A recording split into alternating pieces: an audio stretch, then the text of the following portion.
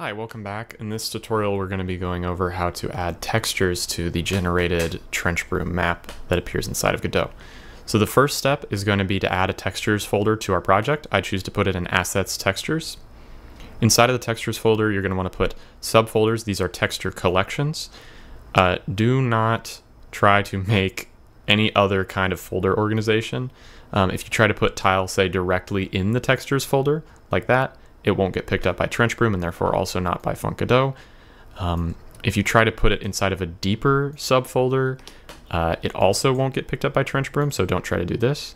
Just fill these folders inside of textures with textures. That's it.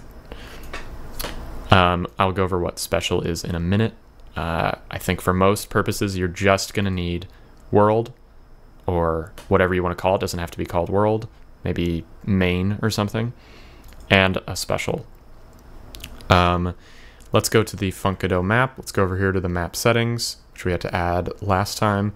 Um, and let's just change the textures dir to be the correct texture location. Assets textures for me. As you can see here, this determines where the clip and skip textures are located. That's why I created this separate folder for special. If you want, you could avoid creating that and maybe put them both in the world folder, something like that maybe. Uh, change the place that you want the uh, texture to be uh, determined. Um, for information on what clip and skip are, check out the func_godot documentation. If we go over to the textures section here um, and we scroll down to the skip it section, um, it will describe roughly the behavior that occurs when you um, apply a clip or skip texture to a brush. Um, general rule of thumb listed here. If you want your entities to collide with the brush, use clip. And if you want them to pass through, use skip. So skip is no uh, collision, no visibility. Clip is invisible wall. All right, so back to Godot. Um, the one other thing that we're going to want to change here, entity FGD, we're going to just go ahead and set that using quick load here to the FGD that we created in the last video. That's not directly related to textures, but uh, it's something we need to do here, so I'm just going to get it out of the way. All right, next step is to go to TrenchBroom. Uh, we need to make these textures visible. If we go to face and we try to do it, ugh, we don't have any. So um, go to View, Preferences, wait for the window to open, click the game, and then right here put the path to your Godot project. Um, if we were another game like Half-Life or whatever, this would probably be the path to the Half-Life installation. The important thing is that it's the folder where mods are installed.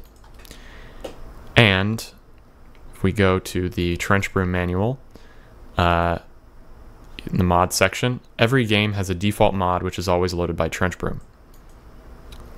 Default mod for Quake is id1. So we are adding our default mod. This is the mod that is not really a mod, it's the base game content. So, the folder where that mod will be installed, for me, is my home folder, slash funk, which is the name that I've given this tutorial project. When I've typed that, I click apply. By the way, you can also click these three dots to select it with a pop-up instead of having to type it manually. Okay, hit apply, okay. We got some stuff printed here, no errors. Looks good. Um, if we go to the texture browser, we're not seeing anything still. Um, that's because there's a couple more steps. We added the folder where the mods are installed, but we haven't actually enabled any of the mods.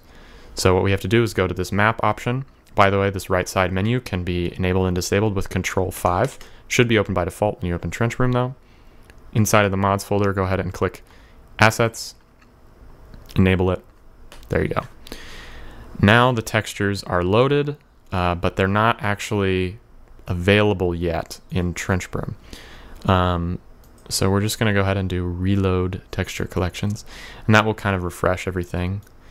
And now over here in the face section, we can go to settings um, in the texture browser, and we can double click these to enable them the same way that we enabled that mod earlier. Click browser to return to the browser, and now we can see the different textures. So we can of course use the clip texture to apply a certain collision behavior to different faces. We can apply the tile texture to apply um, well, an albedo texture. Um, and we can use the skip texture also to apply uh, custom collision behavior. Um, func_godot will figure that out when we import the map. I'm also just going to go ahead and give a face here um, a uh, custom texture just to show what that looks like. All right, um, now that we're done, I'm going to save. I'm going to return to Godot. We have everything configured here. We have the func_godot map selected, so in the 3D view, we should have a build button. Click build, and our textures are now there. Um, that's everything for this video. Thanks for watching. See you guys around.